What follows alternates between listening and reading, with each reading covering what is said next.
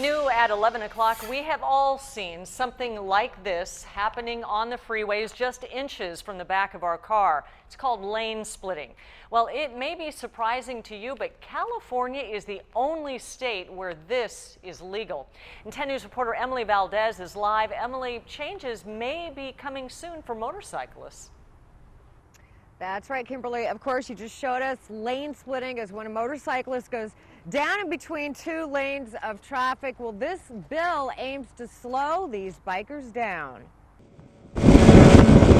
This video from YouTube is an extreme example of lane splitting gone bad. Clearly, the biker's speeding and unsafe, and in this case, it does not end well. It often seems really dangerous. California is the only state in the nation where lane splitting is legal. And now a bill in the state assembly aims to put the brakes on motorcycles zipping past much slower cars. If the bill passes, motorcycles would only be able to lane split if traffic is moving slower than 30 miles an hour and the motorcyclist can only go 10 miles an hour faster than the flow of traffic. That seems reasonable. Uh, I feel that most of the bikers have been in control, and I try to keep an eye out for bikers. Bikers will tell you the big danger of lane splitting is often the other drivers. Like in this case, you'll see the white van pulls out in front of him. He walked away from this one.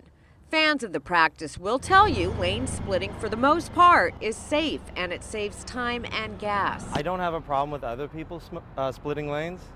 It's just not something I would choose to do if I didn't have to. This is what all lane splitters want to avoid. Watch the guy on the orange bike. Ooh!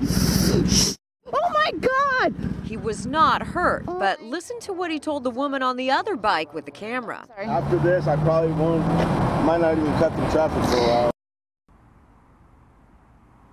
And the bill looks like it's going to pass in the Assembly. After that, it will go to the Senate where they vote on it. We'll keep an eye on it.